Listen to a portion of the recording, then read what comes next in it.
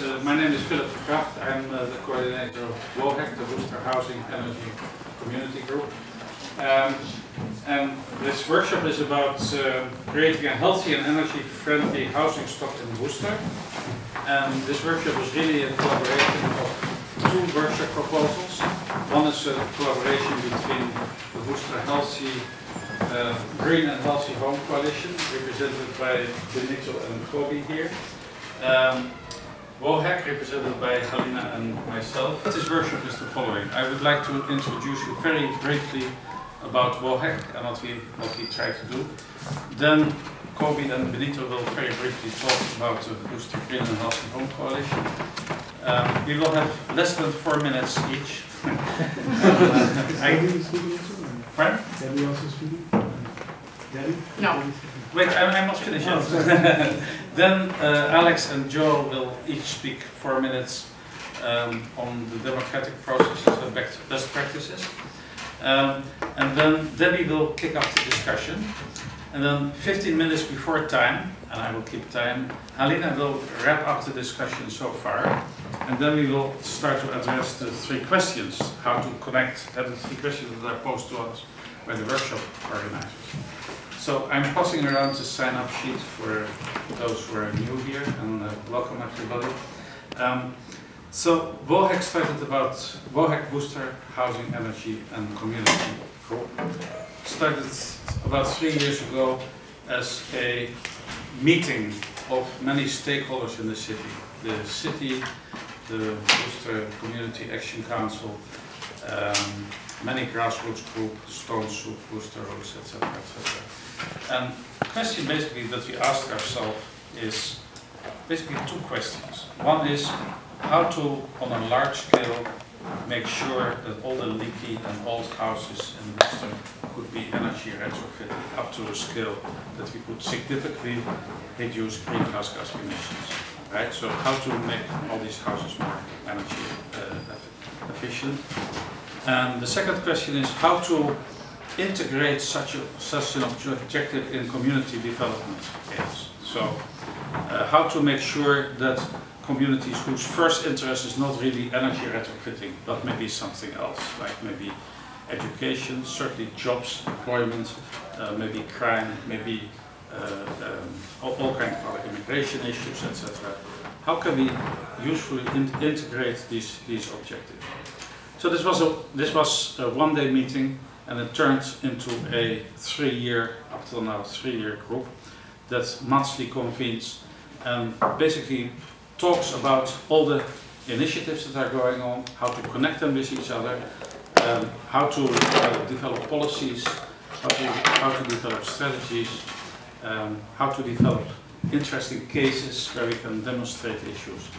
Um, now, if you ask us what, what have we achieved, not a lot. Every, everybody says uh, this group needs to stay and needs to continue, but we so far haven't been very successful in actually uh, producing real resu results that, that are measurable. So the question is now how to step up our activities. One idea of this group, this meeting this afternoon is to bring in new people. Welcome. And uh, we are looking very much forward to hear your views. So the whole idea is very brief presentations and then amply time for discussion and new viewpoints. The second thing is we would like to organize a, an early March uh, uh, conference um, where, where, we bring in uh, all the players in the field, including business, real estate, financial sector, uh, the, the city government, etc., to talk about two things. Basically, what has been achieved in the, in the last, last few years in terms of housing retrofitting, but also renewable energy uh, issues, etc.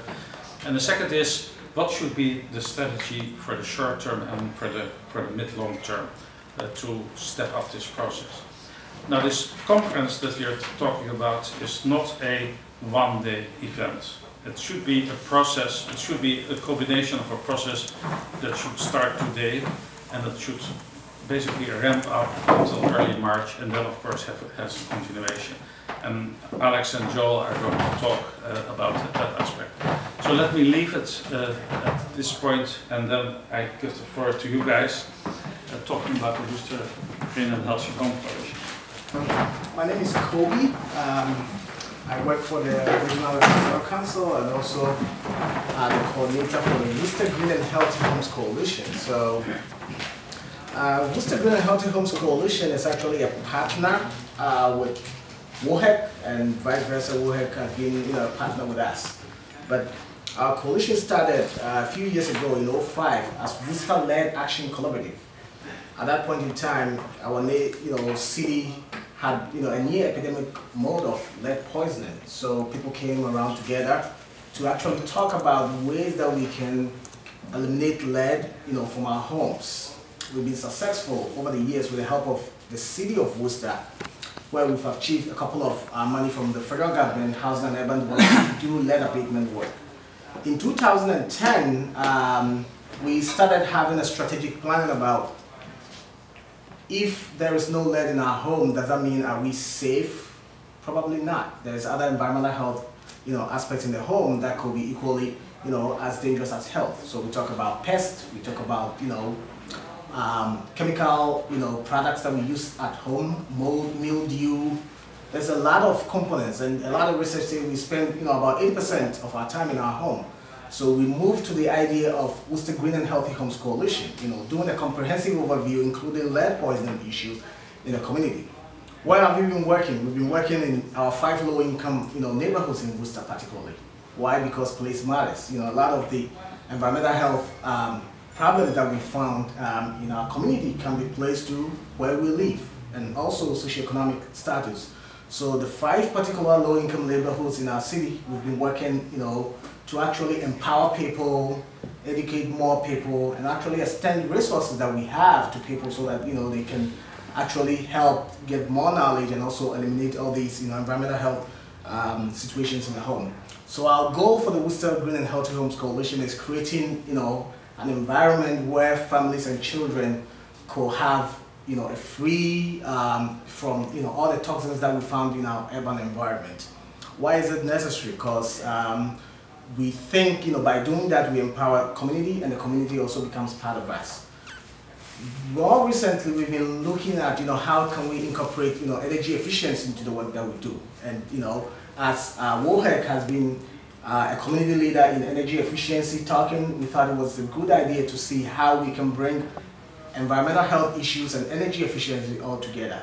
So Worcester Green and Healthy Homes has been around you know, since 2005 and our goal here is that what is the vision moving forward, how can we create a community with more environmental friendly you know, things at home, besides that also have some aspect of energy efficiency in our homes. So um, we are happy to be here and we are happy to also have some discussions and um, I'm here with my colleague Benito and Benito is also going to add a few more things about how he's been doing, organizing and bringing, you know, some um, community members to the work that we do at uh, Worcester Green and Healthy Homes Coalition.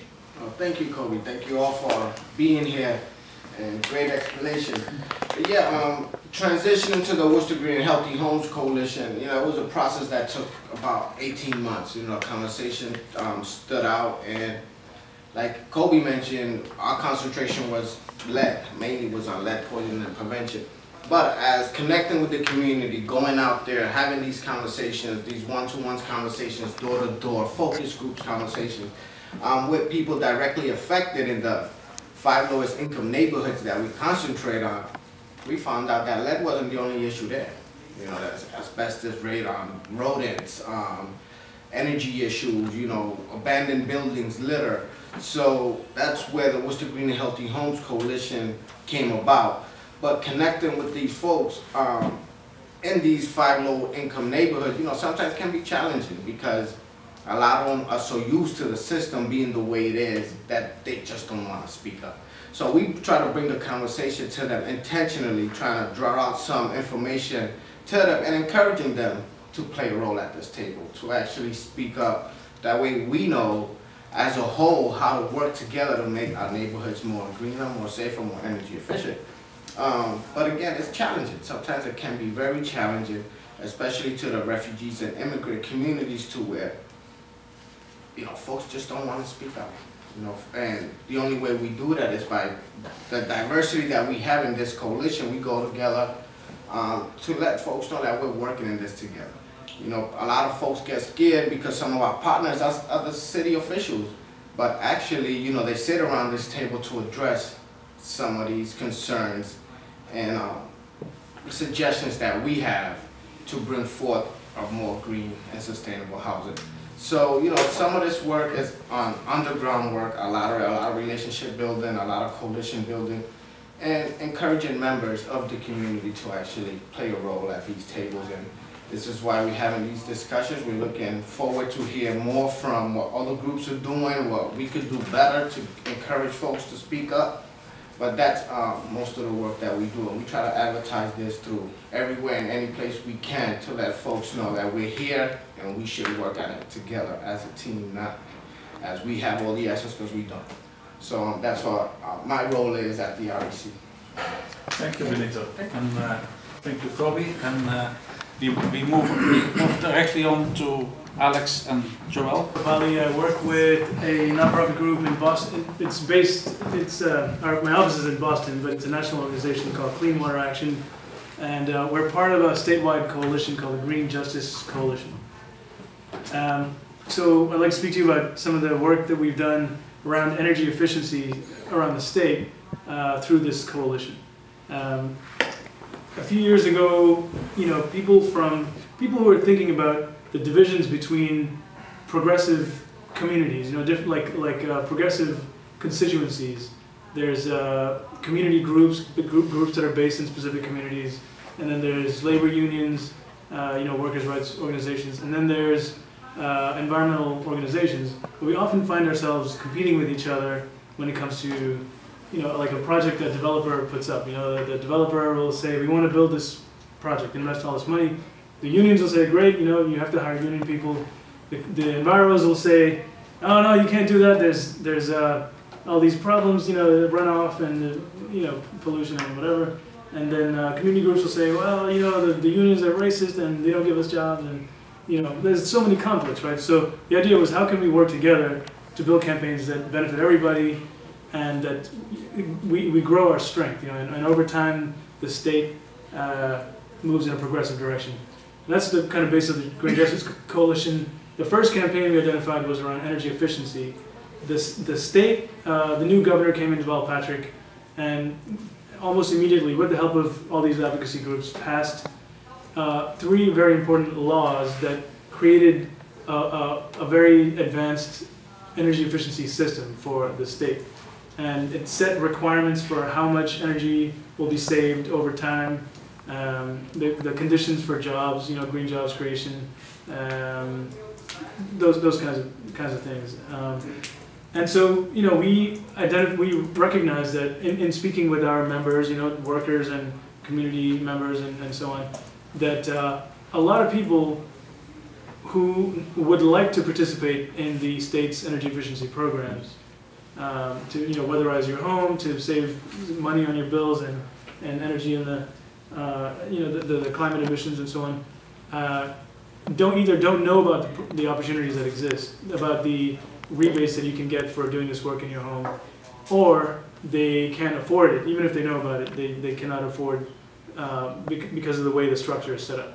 So we, and, and those are mostly the like, you know, low to moderate income folks, you know. I can speak more if, if anybody's interested in that. Um, so, you know, we, we identified that group as, as in particular need of, of, uh, of uh, getting access to these programs, and the campaign has been around that um, specifically. And, you know, pilots have happened in different cities around, this, around the state and have shown that there are very good solutions that uh, can come out of this. The state just released a three-year plan uh, to, to, to, you know, and how, how this energy efficiency system is going to work in the next three years. And it includes a lot of the solutions that the Green Justice Coalition has, has developed. So that's kind of some background about GJC. Great, thank you. Again, Joel, also with Clean Water Action. Um, what I want to do is try to connect some of these, the GJC ideas back to the municipal level. Um, so you know, what you hear is that there's low-income groups, communities of color, immigrants, non-English speakers, renters that aren't able to access these energy programs.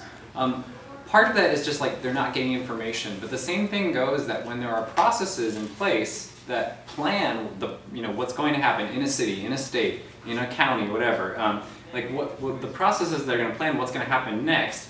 Um, in the same way that they're not receiving information, those same populations would be not necessarily given voice at the table unless someone comes to them and invites them there. So um, from my perspective, I, I, live in Dorchester, and Dorchester, you know, is a community that has often been left out in some ways of, you know, the table. The, the exact same populations. In fact, some of the Green Justice Coalition partners um, represent those constituencies. And so, hearing about healthy homes, hearing about energy in uh, Worcester, I really personally identify and want to, like, you know, bring whatever whatever I can to to um, help you think about that and, and to learn from you as well. But um, what in, in my like looking at the green justice work, looking at energy, and then looking at municipalities across the state, I found an interesting case study in what the city of Lowell has done personally. Which um, city? I'm sorry. Lowell. Lowell. Yeah. So you have gateway cities across the across the, the Commonwealth, these former industrial towns. They share a lot of the same uh, strengths and they share a lot of the same social issues, environmental health issues, economic issues, transit issues, all these different things. Um, they're all diverse cities. Um, and because of a lot, especially because a lot of the laws that Massachusetts has passed, there's this incentive um, to green the municipality. And what does that really mean? Well, one thing it means is that to, to qualify for certain kinds of funding and to look good, like the city has to um, put forward sustainability plans. So you have all these different um, officials scrambling and, and residents scrambling to come up, well, what does it mean to be green? What does it mean to um, plan for a city? How are we going to do that? Um, so I would argue, just from talking to, to different city officials, to residents, um, that there are some techniques that will allow you to include more people in that process. And if you include them in the process of planning, they're going to you know, be, be at the table for the implementation as well. And that's really important. So um, just like one, one uh, applying some basic community organizing principles, I think, to community planning is, is how this works. And in Lowell, one of the things that happened is it said, okay, we had a master plan, now we want a sustainability plan. So how are we going to do that? Well, we need to know what residents care about. So let's go out and have community meetings. Let's get some, uh, a couple of different topic issues, some of the big, you know, economy, transit, you know, just a number of them, and have meetings across the city. Let's, you know, pull up charts so when people come out to those meetings, um, you know, have, have, have multilingual translated meetings and have people just put stickers on the different, uh, different, you know, comments that they have so that you can see, okay, well, here's the 10 different things that people at this meeting said. And this one, wow, people really care about this issue. And have that for all these different topic areas so you get a sense of what are the big problems here. Now, they went, they, they went on from that, this very, um, you know, very simple process of putting a sticker next to uh, this is a problem area too. Okay, well, we're going to make it transparent. So we have these meetings in these locations across the city on these issues, and that's going to go on the website, and we're going to have a picture of it there. So anyone can see what residents in different areas were thinking. Okay, so then they go on and they take a uh, technological tool. Um, I personally, a little anecdote, I went to Emerson College in Boston. There's a professor there who's invented a tool called Community PlanIt. And it's a really interesting way of kind of combining social networking and saying this is what I want to see in my community and this is how I can invade, engage in events around. So they use that tool um, in combination with their sustainability planning process to try to take technology and like smart ways of gathering input on different issues um, and make it accessible. So you, you, you know you can host you can host meetings or events across the city, get input, and then see what other people are thinking as well. And if you have, you know, translation, and you have, you know, the young and the, the like youth and senior citizens and, and the city and community working together, that's a situation where it's conducive to dialogue and you at the end you have a product you can witness and you've engaged all these people in the process. So I just think that when you're talking about it, doing this, this kind of work on the municipal level, um, that's, there's some really interesting things you can do, both just with simple processes, but also with technology that's readily available to use. Um, and I think that that is what really is going to reach the biggest constituency possible. So I know like you have a round table here and it sounds like you've done amazing work with just gathering people to the table. But I think it's, um, it's just cool to think about what, um, what's there and what other people have done and, and what tools like, it's literally like these things don't have to be invented. There are, there are tools, um, both of communication simple, like how are we going to get input and, and technology that's been you know, programmed that you can use to do this my Thank you very much, Joe. Thank you. And have an interest in houses and kind of, kind of see what kind of work is going on, and some ideas to a lot of beautiful houses around that go, go to waste and it's kind of interesting to see what kind of community response could maybe kind of So what is your immediate response to what we have been telling you? Um, well, it's, yeah, I mean, it's a tricky issue, like you said, to kind of create tangible results. I mean, how do you really get out there and do that? I guess that's what I'm kind of looking for too, is like, what are some ways that will benefit the community, not benefit the developers or the other folks or the, you know, so it doesn't become gentrified so much that the people who are there can have a, can benefit from, you know, saving the stock, so. Do your students do, I know some um, Voc schools actually go out and like build it, you know, they have a project where they go build a house or. Right, they do building projects. Rehab would be a little trickier just because of health issues and there's certain limits on what students can do. So to get students to go to do rehab is, that's a little more problematic. But in terms of, you know, if they have a housing project, are you looking at energy efficiency and new technologies? I know you were talking earlier about the solar section and Mm-hmm, yeah, and incorporating that, because that, that can also get the conversation started at least, uh you know, get Right. people thinking about those things. right. Yeah, ideally be expanded in the social studies question of, you know, access to housing and what's decent and affordable and, and healthy housing, so. you know, I'd bring that into the bigger, bigger, wider curriculum would be Yeah, that, that's, a- that's an interesting idea, I think, Uh, you know, take it out of the, the shop scene and go into the classroom with it too, and kind of make a, a community action thing out of it, that, you know, maybe the students can get involved at that grassroots level, kind of what Joel was talking about, Mm. and sharing it and mhm. interesting. Yeah, so, you want to introduce yourself too? Okay, I'm, my name is Grace Chang. I do um, environmental justice research um, at UMass. And I'm also involved with um, popular economics education with um, the Center for Popular Economics that Emily who- who spoke at the plenary, is the director of. Um, And um, I, I also just moved to Holyoke, so I'm just very interested, in Holyoke, Massachusetts, so I'm, you know, kind of interested just on a personal level, um, you know, just taking a look around the city at the housing stock there um, you know, what, what, there's just so many possibilities, um, it seems, but I don't have the ideas, so I'm just sort of curious, um, about what things you have done already. But I, I did have a question for Joel about access to information.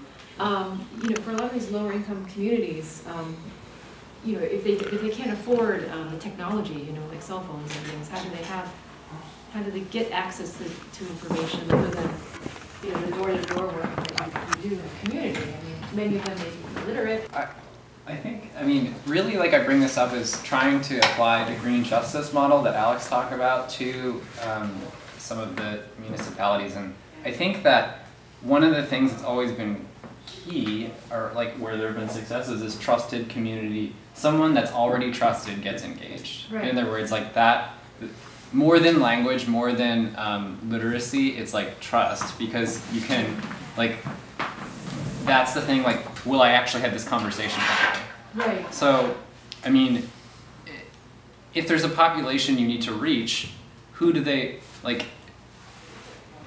You know, who do they? Who, who is the trusted? Like, who is appropriate to really reach that population, and how do they get the resources to do really targeted outreach? Who can they? Who can they partner with? I don't know. There's yeah. so Well, I was just thinking there's a limit to electronic and social media Yeah. technology. Maybe many of the folks in these communities, so then. yeah. Team, yeah, um, that you're able to actually reach out to these communities and actually be received with, you know, with maybe less suspicion than if you were not a diverse bunch. And so I'm wondering who, who else is, um, doing this outreach work? as far as art, to where it's hard to get the landlord association involved Right. to actually, you know, be able to rehab and uh, make your home energy efficient because some of them are just in it for the profit. You know, so that's the challenging part, and that's where, you know, Kobe and myself, um, we wrap our heads around is how can we target this population, this group of folks, and invite them to the table to take advantage of these resources so the folks in the low to moderate income neighborhoods and communities can actually benefit and be able to save some money in the long run. Right. You know, that's Yeah. where our challenges rise. Yeah, I was, I was just curious if you had any sense of the numbers of, you know, the percentage of folks in these five, you know, neighborhoods who are, you know, people of color, um, or, you know, are they, are they undocumented immig- immigrants, a lot of them, and how many of them are, you know, homeowners, actually? Are most of them renters? Well, um, not specific numbers, but you, those five, you know, income neighborhoods are pretty much um, high minority, you know, mostly um, African, Latino, Asian communities.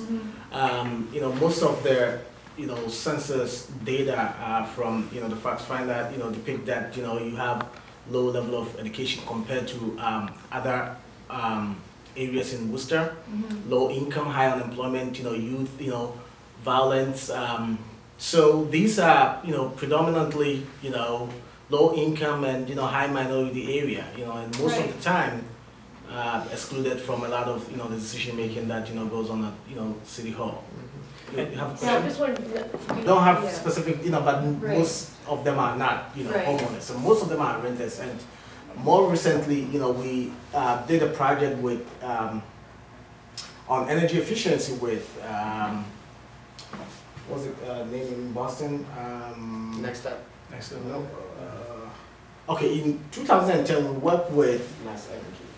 Mass Energy Consumer Alliance in, in Boston, and one of the reasons that we found was that we're doing a lot of outreach to connect folks to the energy efficiency, um, you know, through Mass Save and you know National Grid. And what we found out was that even though, as Benito said, a lot of the community, uh, regardless of you know your socioeconomic status and where you live, are paying into the system. So it's a benefit charge program. They they Okay. deduct you a couple of dollars from your uh, you know utility bills, and in turn you get this energy efficiency. Mhm. Guess what? Even though they might have a utility bill in their name, Yeah, they don't get to do the energy efficiency because that's what I was there is a barrier between them and the landlords. Right. And most of the time they are interested, and sometimes even National Grid or Mass Save will tell you we got to get a consent from the landlord before we can do anything. right. So they keep, you know, contributing to the system, but then they don't have access to the, and who are getting them the most affluent, you know, middle class, rich neighborhoods are the one who can easily tap because they are the homeowners, you know. Exactly. So that is the, you know, bridge that we find in how to connect folks from low income areas to these, you know, energy efficiency programs. the state program has been, has, has, you know, mandated goals set uh, by these laws from 2008 on how much energy they're supposed to save.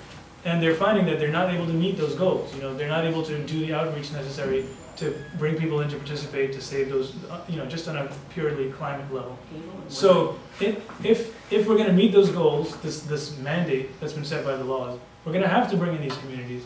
They live in, you know, the, usually the leakiest, like, at least energy efficient housing stock in, around, you know? And there's very clear barriers to their participation that, you know, it's, it's not difficult to identify, you know? They- There's financial barriers, language barriers, outreach, you know, all that. So one clear solution is to bring in partners, partner, partner up with community groups to do outreach that's appropriate.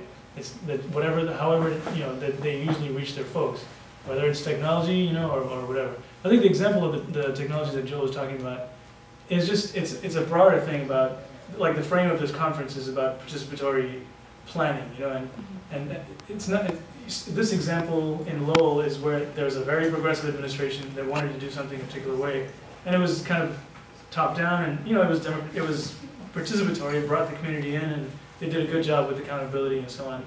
But most places are not like that, you know? How, how, so the question is, how do we do it when, when you were in an environment that's not that friendly? And, uh, and, and so the, the idea of this technology is that there are some tools that we can use to bring people in, to get, to, to get people talking to each other. Not everyone's gonna feel comfortable using those tools, but it's just, it's just one way. I, I would like to chip in on, on this point. Uh, it's basically two remarks. One is you were talking about utilities, and I think that here in Worcester we have an opportunity because National Grid is very active with the smart grid project here. So they created this this group called uh, Green to Growth. They bring together most of the stakeholders that are used also to, to come together in in WOHEC. Uh, basically talking about the smart grid, but also about community issues there. Now, I don't know if you guys are involved in, in this Green to Growth pro- project. You are, So we, we attended the conference and I think um, one of all the colleagues, um, since Yeah. have, you know, agreed to. so actually Debbie has been to one or more of their, their meetings. We, we intend to at least connect with them to see how we can get the utilities uh, better into maybe this type of process. The other, uh, the other remark I want to make is really very critical of the local authorities here in Worcester, because I really admire your story about Lowell, and, and I would like to challenge John O'Dell, who spoke this morning, uh, to, to basically allow something to happen here in Worcester. Um, what happened here in Worcester is that uh, the city of Worcester got about $800,000 from the Green Community Act. Um, and John O'Dell was part of WOHEC, so we had all these monthly conversations about energy retrofitting. Um, we were kept totally outside the process of how this money uh, was going to be spent. It's actually going to be spent on housing retrofits. So about 100 houses will get a 5,000 subsidy for uh, energy retrofits. But um, that's it. I mean, there's no community involvement as far as I know. There's no research being done about uh, how to handle, for instance, the, the issue that uh, that you're talking about, uh, about the, the, the renter-owner uh, split incentive, right? How to, how to handle this. This is purely doing 100 houses, full stop. And at the end of the program, we don't know anything more than we knew in the beginning. And of course, such a process should set up in a way that would include communities, uh, in, including uh, communities of color and immigrants, etc., that would address the, the issues not just of insulation of houses, but also health and also other aspects that we've been talking about. And it should be studied. It should be there should be research to study about which things work and which things don't work. So I'm very critical of the of the city of Worcester at this point. But as some of you could hear in the previous workshop, I challenged John uh, to basically to top-down facilitate a bottom-up process. That's what I learned yesterday from Alex on the- phone, and I think that it's, a great model that could could be um, uh, uh, uh, could be handled here in Worcester, but uh, it has not been done so far. I So, yeah, go ahead. I just want to throw a couple other like things, maybe things to think about that that have happened. Um, one, Can, can, I, can, can you maybe hold one moment because I would like to introduce oh please. to, to have another voice on the table and then yeah would you Hello, um, my name is Shi, and I'm currently a graduate student in Clark. My major is environmental science and policy. And also, I'm an intern at Regional Environmental Council. I work with Benito and Kobe at the Weatherize Worcester project. So mm-hmm. I'm interested in the energy efficiency in Worcester, so that's why I came to this meeting. And want to know more about how to do outreach work to communities and what's the situations now about the energy efficiencies in Worcester. and do you have a question or a comment on the discussion so far? I had a question for Joe, and you just mentioned that you uh, you use some technology to make the information like make the same information from mayor and from resident and then put the information to the society. I want to know why you why you address that we should have the same information from mayor and resident. I mean, you you said you you will set ten questions, and then you want to know how mayor responds to this question, and you want to know how resident responds to this question, and then and then put this these responses to to the society. I want to know Uh, why you want to do that. Uh, no, I don't think that that's. If I'm understanding you correctly, um, uh, I'm not. I'm not sure that I maybe perhaps I didn't explain clearly what the example is, um, and I don't want to like go into a huge long process. But basically, it's it's just that when it's not what the mayor thinks and what the residents think. It's that polling residents on, on topics that have been indicated as important through community outreach and then making that information available so other residents can see it. and having the city show people what other people in the city are thinking as a way of facilitating dialogue. So that, that would be one thing from the top of my head that you can imagine a city could do. Are, are there other things that could a city could do in order to facilitate these bottom-up processes that we are talking about? I like that process that you mentioned. Um, I also think one of the things that probably, um, not just the city of Worcester, but, you know, every city that has the, um, you know, mass save energy audit process to do is that, you know, why should they need consent from the landlord to actually have their home, you know, so since, um, the utility companies is kind of, you know, collecting all this money on behalf of the city, one thing the city can do is that eliminate that type of, um, you know, barrier that, you know, because the guys, you know, on the top floor is paying as much as you are paying, so why do they have to get your consent? So they can make it easier on eliminating that, you know, type, because, you know, he also pays into the system. That's one thing from a city level, since they are working with, you know, the utility companies, can actually eliminate that type of barrier.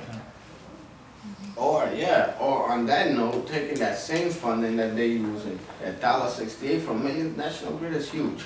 And I'm sure that that money, it's, you know, on a daily basis, there's millions of dollars going into this account.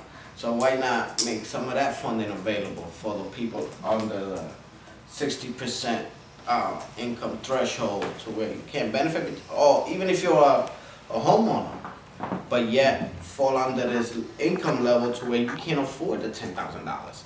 You know, for an example, my house, when they audited my house, there's nothing that can be done today until I, I change the, um, electrical wiring in the whole house, which is gonna cost another five to seven thousand dollars before any installation can be ever done.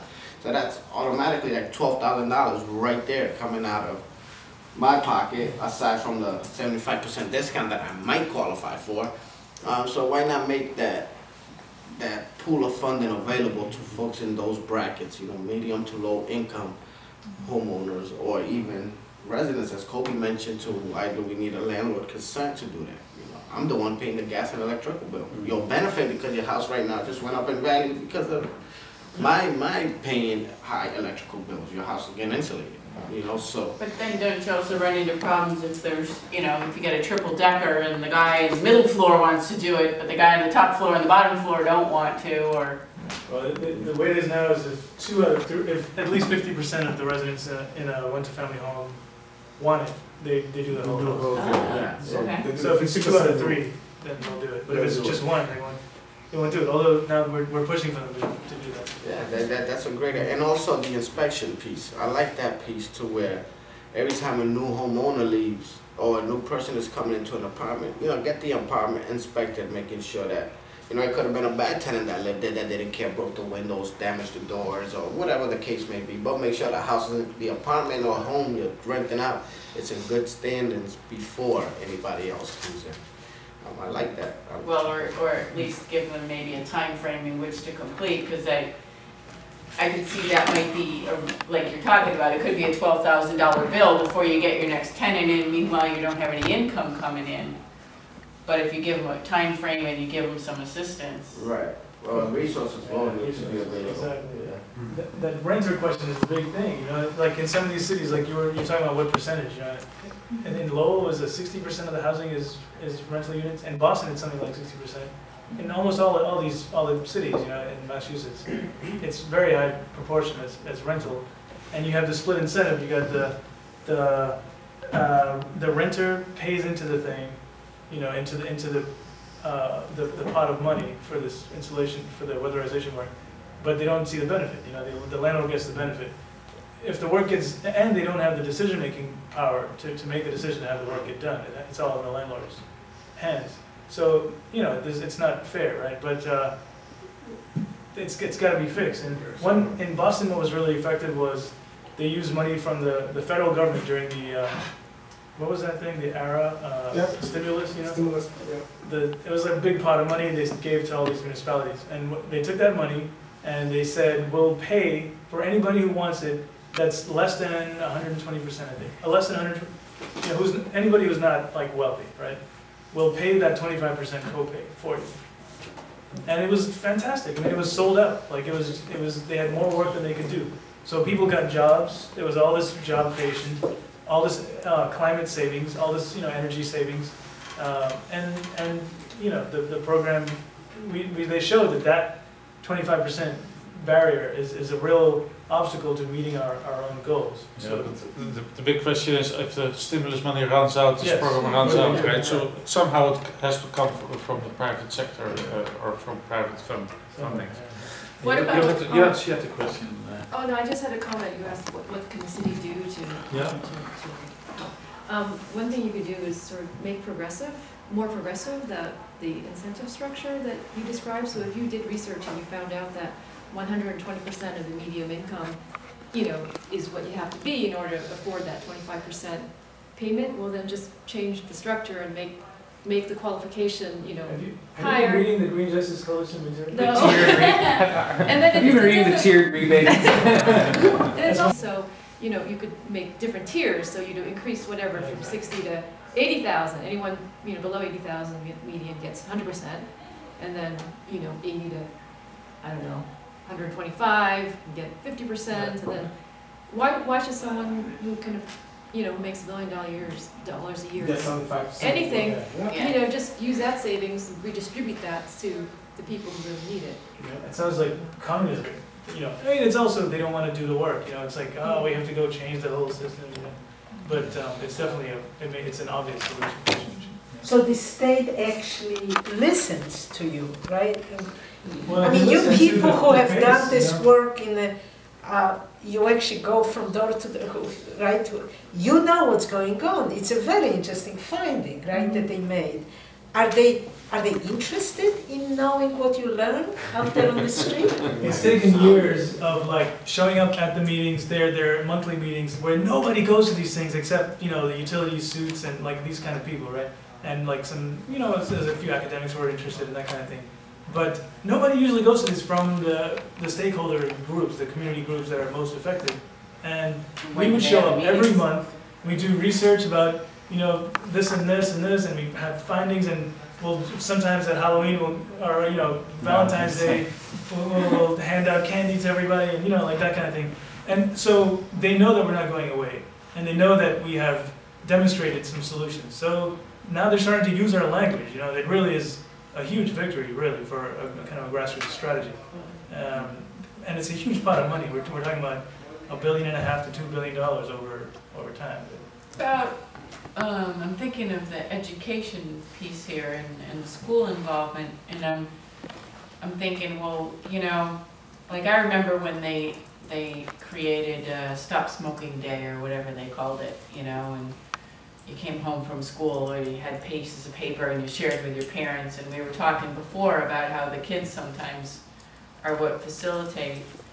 And what if we're able to get some kind of energy efficiency curriculum into the school as part of the, the school year, and, and this doesn't help kid, the people without kids, but I'm guessing that most people have kids, and they came home with a project that required them to do a certain amount of work and, and expose the family a certain amount to programs or figuring out at least what they're spending on electricity or on heat or, I don't know. I'm just sort of was starting down that line, and want to throw it out there and see what anybody else thinks. I think it, makes, you know, you make a very good point, um, because, you know, the other aspect, you know, of the energy efficiency thing that we can really think about is, you know, the education piece, as you, you mentioned. There's a lot of research that actually attributes, you know, the amount of energy that we pay in a home, you know, to waste. And, you know, one of the things that we can do as, you know, through the school program is that how can we educate, you know, these young people and then they can in turn educate their money. How many times do we have our cell phone, you know, plugs in whilst, you know, without using them? You know, computer games. Oh, I saved my game. I continue later, but you know, four days later, still, you know, the, um, you know, the console is still running. So there's a lot of uh, things that we can do which are very smaller, but you know, all coming together, I think it will make you know some good impact. And one of the things that we can do is that through the school system, because the school system has a recycling program that you know it allows kids to come home and you know tell mommy daddy about like how great you can recycle and I think we can also use the same model of you know education piece you know through youth and then in turn you know spread the word at home you know I think that could be something you know on a smaller scale but you know we can do a lot of education on um, you know home energy efficiency. Also, once the kids are aware of the problem, as they grow up, they're gonna spot the problem more and more, and they're gonna bring it up more and more, and it's gonna grow. That is true.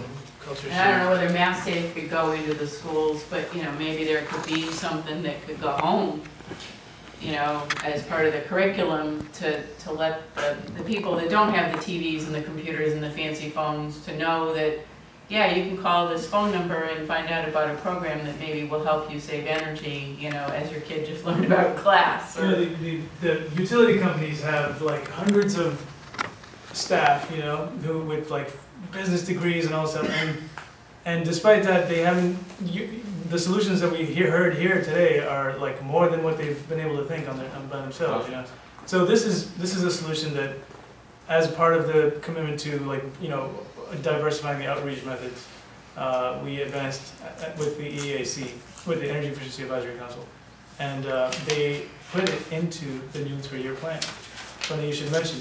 So they, so they've actually done a pretty good job.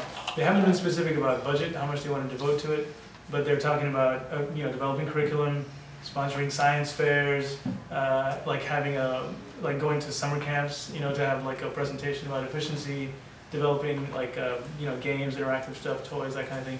There's, a, there's, there's all these ideas out there that they kind of say that they're gonna do or, or they're gonna consider, but they haven't talked specifics yet.